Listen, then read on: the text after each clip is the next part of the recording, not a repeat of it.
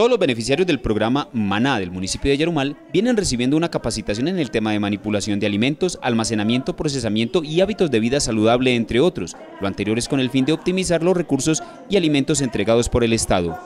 Los docentes, quienes son los que conocen las necesidades al interior de los restaurantes escolares, fueron el público objeto en el último taller dictado en la Ciudadela Educativa y Cultural Horizontes. Los temas elegidos en este caso específico se centraron en el pedido y entrega de los alimentos, además de la gratuidad del programa del restaurante escolar y el trabajo coordinado entre educación, administración municipal y Maná, lo que repercute de manera positiva en el mejoramiento del programa.